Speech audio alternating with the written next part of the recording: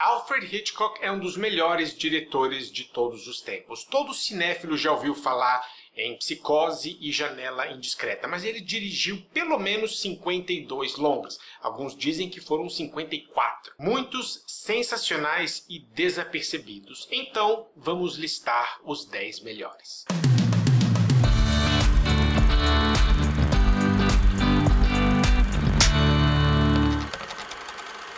Normalmente minhas listas são bem subjetivas. O meu filme preferido é o número 1 um da lista, Ponto final. Mas dessa vez eu levei alguns critérios adicionais em consideração. Por exemplo, os pássaros. Eu adoro esse filme, eu tenho medo de pássaros, eu tenho fobia, eu não gosto de nada que voa, então é claro que esse filme conversa comigo num nível mais profundo. Mas objetivamente falando, eu sei que não é o melhor filme do Hitchcock. A mesma coisa vai para a quantidade de vezes que você assiste a um filme. Quanto mais vezes você vê, maior o seu vínculo emocional com o filme, maior o carinho que você tem pelo filme. Há clássicos do Hitchcock que eu só vi uma vez. Então eu tomei muito cuidado para não deixar esses elementos falarem mais alto do que a análise crítica. E eu tomei mais cuidado ainda com os spoilers, porque os filmes do Hitchcock são cobertos de mistério mistério, de suspense, muitas reviravoltas, muitos twists. Então, acreditem, quanto menos vocês souberem, melhor.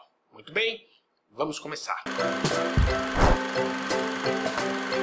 Lifeboat, ou Um Barco e Nove Destinos, filme de 1944. Após um naufrágio durante a Segunda Guerra Mundial, nove pessoas tentam sobreviver num bote salva-vidas. A manipulação do espaço é a grande virtude desse filme. Suspense, ação, movimentação, ritmo, desenvolvimento de personagens, tudo é muito bem trabalhado sem sair de um pequeno bote. É uma direção muito inventiva em sua simplicidade. As microdecisões entram nas consequências que afetam o conjunto e ele trabalha o desespero do grupo sem abrir mão dos conflitos individuais. Tem crítica desse filme no canal, nela eu explico melhor porque ele é tão bom, vale o décimo lugar na lista. Strangers on a Train, ou Pacto Sinistro, filme de 1951. Um mal-entendido envolvendo uma teoria nefasta gera graves consequências. É uma trama atemporal, com pouquíssimas modificações, essa história funcionaria hoje. É possivelmente a melhor interpretação da carreira do Robert Walker e um estudo fascinante da psicopatia de um homem cheio de nuances. Há pausas muito bem calculadas na construção do suspense que te puxam para dentro daquela visão visão doentia e o ato final é um marco do cinema do gênero. É tenso pra caramba, poucos filmes pintam um mistério melhor, a fotografia desenha muito bem todos os subgêneros sem deixar a bola cair, mas acima de tudo é uma grande intriga. Eu tô me beliscando aqui para não dar spoilers, vale o nono lugar na lista. Shadow of a Doubt, ou Sombra de uma Dúvida de 1943. Após receber a visita de seu tio, a jovem Charlie desconfia que ele não é o cara gente boa que aparenta. Esse filme tem uma das melhores coleções de plot twists de todos os tempos. É assim que se constrói um suspense, guiando o espectador a certas presunções e depois puxando o tapete. Os diálogos sobre assassinatos são sensacionais. O Joseph Cotten é perfeito em sua dicotomia, aquela coisa do monstro dentro do homem comum, dentro do homem gentil até brilhante roteiro do Thornton Wilder, os personagens são muito bem escritos, todos com muito mais camadas do que aparentam. Eu tô sendo bem vago nos comentários porque este é mais um filme que não permite spoilers, então eu vou parar por aqui, mas vale o oitavo lugar na lista. Rebecca, ou Rebecca, a Mulher Inesquecível, de 1940. Uma jovem de origem humilde se casa com um aristocrata atormentado pela memória de sua primeira mulher. É um dos filmes mais atmosféricos do Hitchcock, o elenco é perfeito, todos os twists, todas as descobertas, todas as reviravoltas convencem. Há uma transição perfeita entre o tom melancólico dos dois primeiros atos e onde o filme chega em sua conclusão. Não é fácil fazer isso. Será que eu falei demais?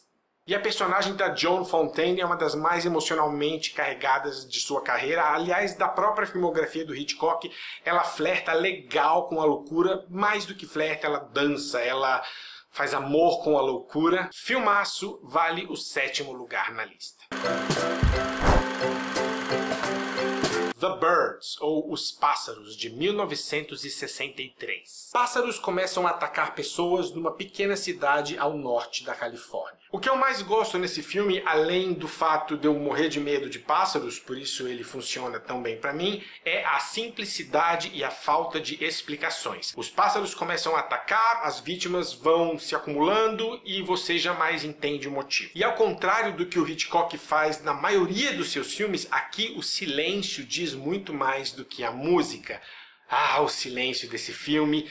Os pássaros vão se acumulando, ele um, um, efeito simples, como um corte para A, depois volta para B, depois volta para A, ups, tem mais pássaros, depois volta para B, depois volta, opa, tem mais ainda. Além de ser atmosférico, esse silêncio também determina diretamente a ação dos vilões do filme, que são os pássaros. É sensacional e o elenco transmite tudo que você quer de um filme do Hitchcock: ambiguidade, charme, tensão sexual, cinismo, carisma. Eu queria poder falar mais, eu queria poder colocar esse filme em primeiro lugar, mas não seria justo, não seria correto.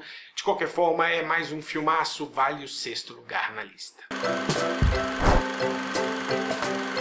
North by Northwest, ou Intriga Internacional de 1959. Um publicitário é confundido com um espião e passa a ser perseguido por policiais e criminosos. Sempre que eu me pego pensando, putz, bem que o Hitchcock poderia ter dirigido um filme do James Bond, né? Ele tava lá na, na era clássica do Bond. Que pena. Aí eu lembro desse filme. É o mais perto que ele chegou. Mesmo a trama não sendo das mais plausíveis, e qual filme do James Bond tem uma trama plausível, tudo funciona aqui, o romance é muito bom, a ação tem sequências que são imitadas até hoje, mistério, suspense, humor e um elenco afinadíssimo que jamais deixa a bola cair. A energia do filme ajuda a fazer essa teia de aranha de subgêneros funcionar, os diálogos são ótimos, o ritmo é muito bem dosado, o filme envelheceu muito bem e o elenco está irretocável. Aliás, é preciso que se diga que o Hitchcock sempre extraía o melhor de seus atores, vale o quinto lugar na lista.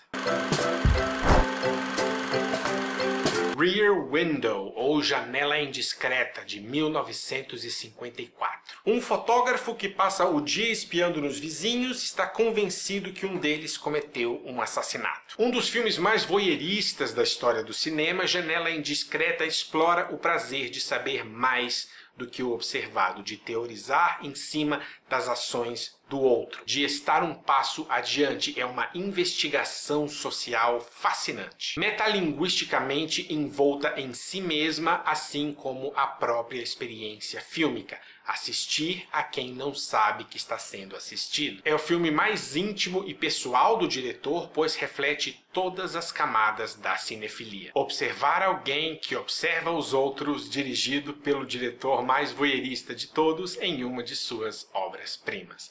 Vale o quarto lugar na lista.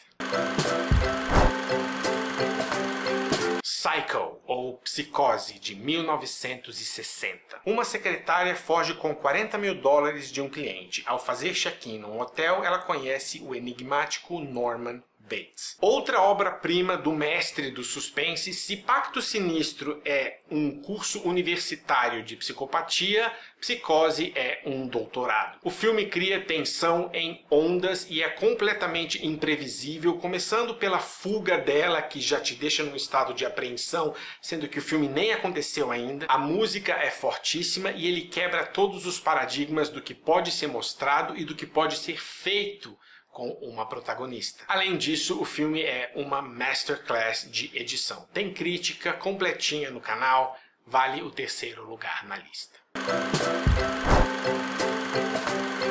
Notorious, ou Interlúdio, de 1946. Uma mulher precisa se infiltrar num grupo de nazistas operando no Rio de Janeiro. O filme quebra a estrutura convencional do triângulo amoroso com uma Ingrid Bergman maravilhosa, falsamente submissa a um homem e apaixonada por outro. Tudo envolto em muito, mas muito perigo, pois as consequências podem ser fatais. Espionagem e suspense andam lado a lado o tempo inteiro aqui e o resultado é um aglomerado de pequenos momentos, de pequenos twists, de pequenas reviravoltas que são absolutamente tensas, tensas de verdade. Suspense não fica melhor do que isso, vale o segundo lugar na lista. Vertigo, ou Um Corpo que Cai, de 1958. Um detetive aposentado acrofóbico se envolve com uma mulher cheia de mistério. Elegante, misterioso, triste, voyeurista, de novo, impetuoso e até satírico em relação ao ponto de vista masculino de enxergar o mundo. É um filme sobre obsessão, talvez o melhor filme sobre obsessão já feito. É uma história de amor que transcende todas as outras ao focar no elemento manipulativo do relacionamento. E claro, ao ser banhada em suspense e intriga em níveis Hitchcockianos. O diretor puxa o espectador para a diligência impetuosa do protagonista. Você é aquele cara. É impossível começar a assistir a esse filme pela primeira vez e parar no meio. Você precisa desvendar o mistério a qualquer custo, e o resultado é uma das experiências mais imersivas da história do cinema. É por essas e outras que eu o considero o melhor filme dirigido por Alfred Hitchcock. Ok, top 10 Hitchcock, check. Vamos às menções honrosas.